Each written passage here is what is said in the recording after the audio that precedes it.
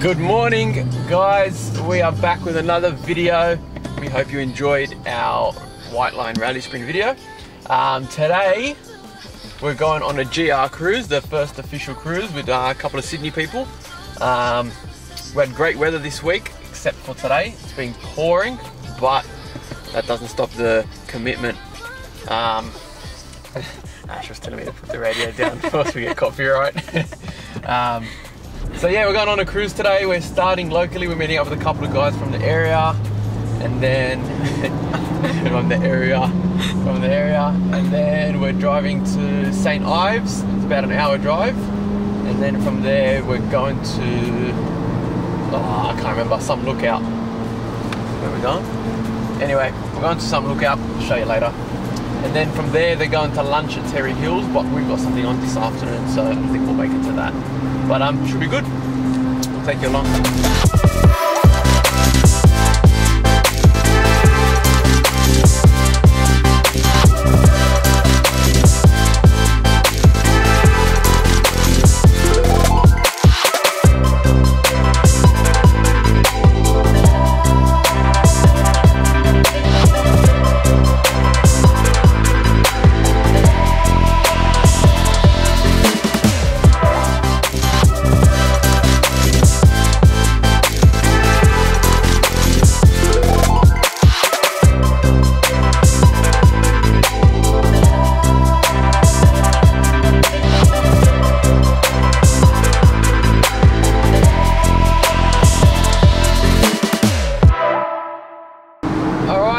Seen the uh, meetup, and now we're on the way to West Head uh, Lookout. West Head Lookout. Yeah. That was probably about 20 GRs, oh, 15 GRs. Yeah, about that. A good turnout considering it's shocking weather. But um, yeah, we're on the way now. See, uh, hopefully the weather clears up. Probably not, but you know, good to see everyone. And let's uh, let's see, let's go. Running through the last of my thoughts Standing on the edge of my time Everything I know will be gone in a minute And that's alright Alright cause I'm free Freer than I've ever been before Yeah Baby I'm free Oh yeah. Yeah. You're I gonna. just said to the guy, I thought I was seeing things. Yeah, you had a big night. It's all the same cars. Exactly. I was like, Yeah, there's gonna be a few of us. isn't why they're all the same colour? Nah, it's just coincidental. They only came out in three colours, but I think. What sort of car is it? it's a Toyota Yaris, but it's like a Oh, this race. the new one. Yeah, You know what? That's that's mine. That's an Echo. There you go. A really old one. I wanted one of these, but they're too fat to fit in my garage. I'm really they're big cars. Yeah. See ya.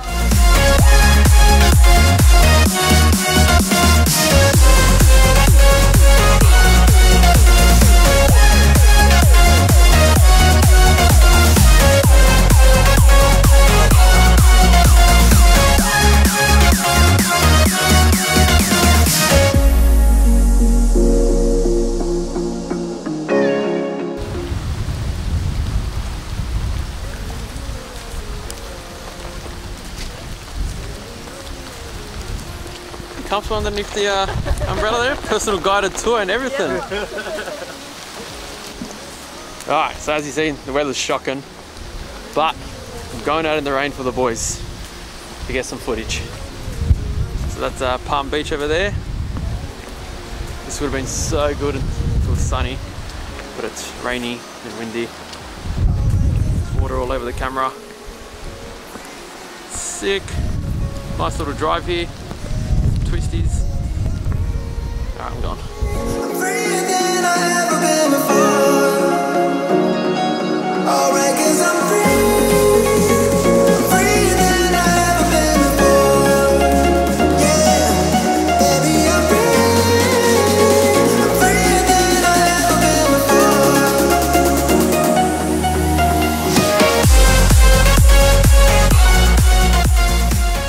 Hope you guys enjoyed that small video of the GR Yaris cruise. Good turnout considering the weather was shocking, but um, can't wait to do another one. So, what we're doing now is, oh, I already took them out of the boot. We are installing the genuine Toyota brake ducts. As you can see, I'll take them out of the packaging, but pretty much just two brake ducts, four screws, four bolts. And basically what happens is, remove the guard liner, and those ducts go in here, as the Australian models are all blank.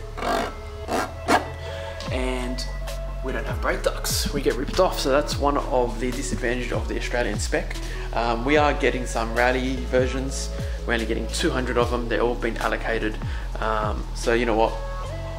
Just spend the 200 odd bucks on some brake ducts, and I've got myself some genuine brake ducts. That's the models here don't get. So first things first, jack it up, take the wheels off. Look how dirty they are, man. This brake dust is ridiculous. Look at that, crazy. But hey, lucky they're ceramic coated. Um, let's take the wheels off.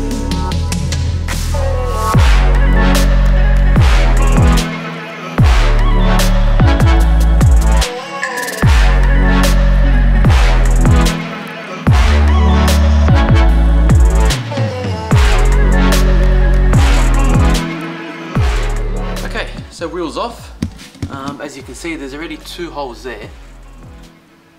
And there's an indentation of where you're gonna cut, so that makes life easier. Um, so I'm gonna remove all the clips that are holding this guard liner in. I'll probably have to remove all of them. I don't know if I'll be able to just remove those. Um, but I'll remove all of them, get access to the bumper bar, and go from there.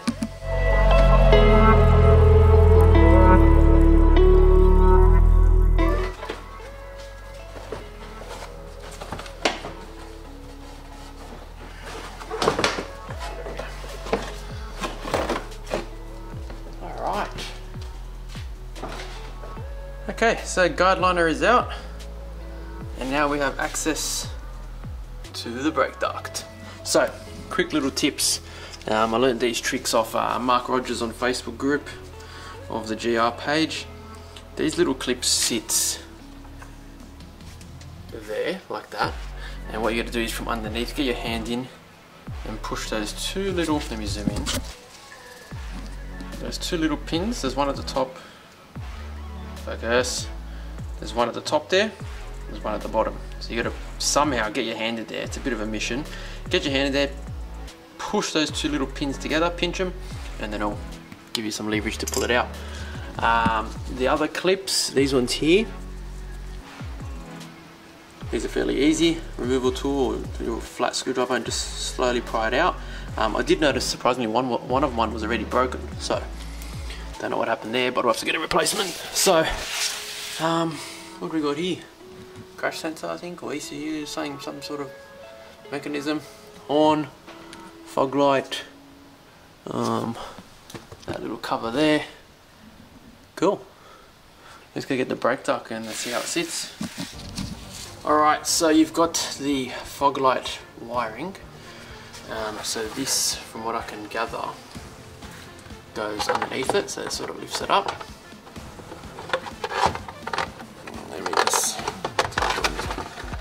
That just literally just hugs the back of the bumper bar.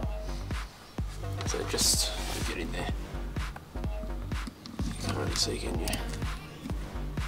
There. So yeah, it literally just hugs the back of the bumper bar, and then you've got your two mounting holes. So one at the top, one at the bottom.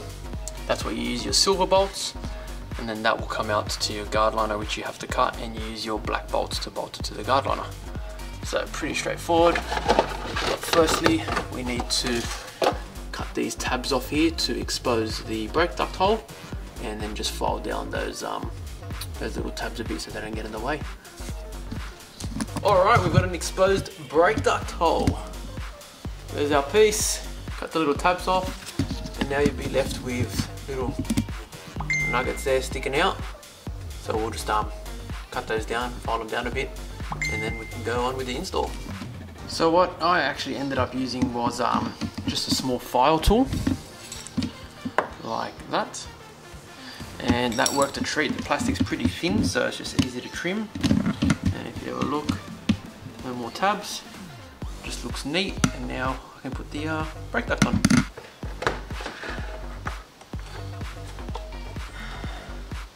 Nice.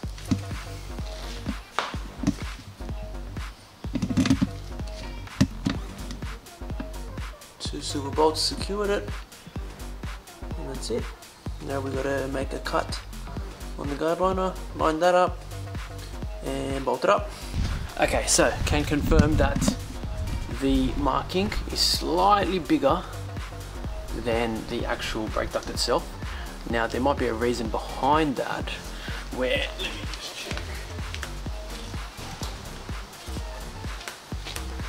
you've got that little bit of gapping after the hole. See how it sits on there? More than likely. Um, so I'm going to cut it a bit smaller first and then see how we go. I'm just going to use like a Stanley knife of some sort or some side cutters.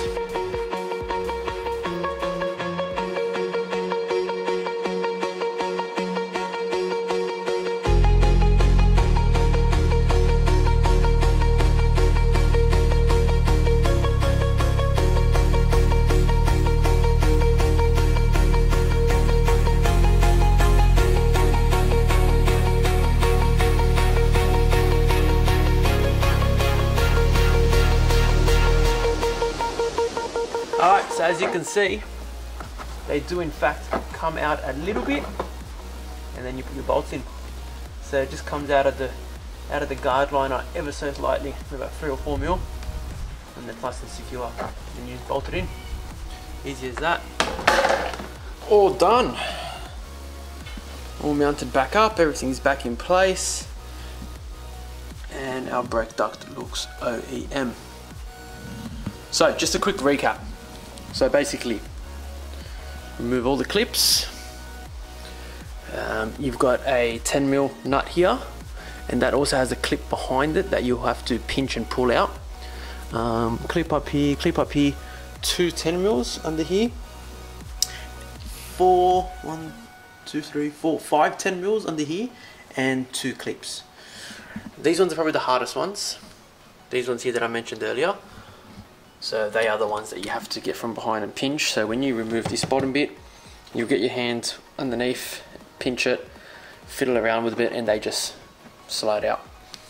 Uh, once you've done all that, you cut off the tabs from the back. Choose a method to remove the little tabs. So I sliced them with the blade, then sanded them down with a file. Um, and then put your brake duct in, two silver bolts that you get with the kit, and then your two black bolts to secure it to the guard liner. And then reverse everything, and that's it. So the first one took me about half an hour just to figure everything out, and actually what time is it? 5.39. Okay, took me more than half an hour, took me about 45 minutes. Um, just to sort of figure everything out and figure out how those little clips worked because they were a bit of a pain in the ass and then the best methods of cutting that so what I used to cut it was a assortment of blades and the little baby side cutters to get out the main piece and then just trim the edges. So um, all in all wasn't wasn't overly hard. The other side should probably only take me about half an hour 20 minutes. Um, now that I know where everything is and how everything works I did notice one clip of mine missing and a couple that were loose. So whenever you get some spare time just check everything. So that's one side done awesome I can now sleep through and I still gotta do that side there so some people have been saying that because the air comes through cools the brakes down as you're braking it blows the dust out to the sides of the car but it's only minimal. Not a problem. Cool. So clean everything up, put the wheel back on, happy days. Second side done. A lot quicker, a lot easier now that we know where everything was. And this is what the front end now looks like. No more ugly covers.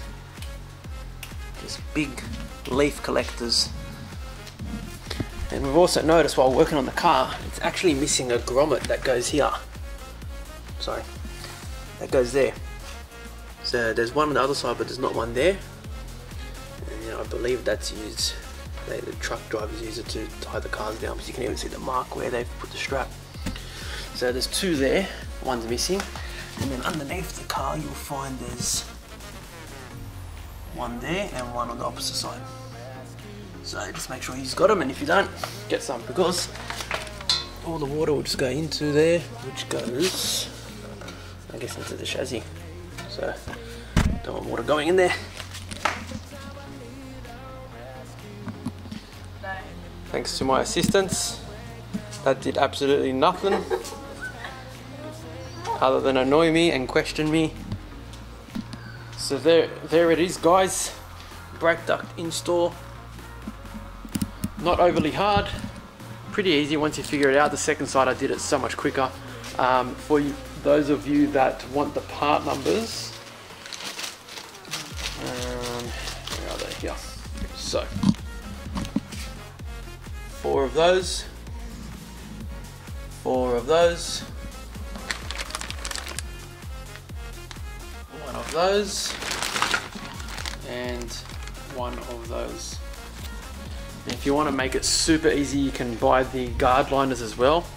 Um, but it literally took me like 30 40 seconds to cut it out. The first one took me about a minute and a half. The second one I knew how to cut it and where to cut it. It only took like 30 40 seconds, like I said.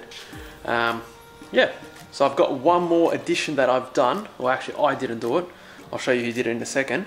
But um, I'm gonna close this garage first to show you. Okay, now that it's nice and dark, you can see the door handle lights that everyone should have. We've gone ahead and installed the footwell lighting. And as you can see from this, it's not very bright. So that's the driver's side, and you can see it's a bit more biased to the right hand side, and that is the passenger side. But yeah, it's pretty dim. I'll try to get a photo and put it in the video of what its true representation is.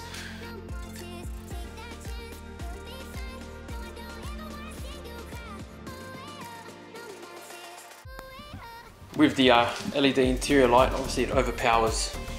You can just see it on the, on the uh, accelerator panel there, but yeah, the interior light really truly overpowers it. While you're driving, it might be a nice little add-on. It's a genuine Toyota uh, kit that we installed. Um, I had Paul from All Wired Up install them for us. Very simple kit. Um, I honestly just didn't have the time to do it, and you know what? Leave it to someone who knows what they're doing.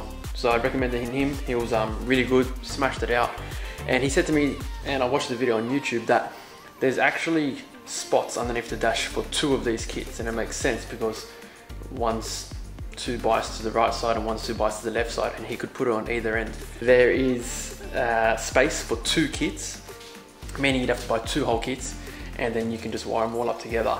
So I might may do that in the future, just to have a bit more lighting. I'll see at night when it's proper dark and driving how it looks, but it's going to bother me that it's more biased to one side. Um, but it's a nice little add-on, it matches the door handles. It's got a switch so you can turn them off and on. Um, I'll probably just leave them on. But um, yeah, cool little addition. So I'll put the part number as well in the uh, description for that. Unless I've got the box. I've got the box here somewhere, one sec. Um, so yeah, it's not cheap for what you get, but you know, genuine Toyota, what do you expect?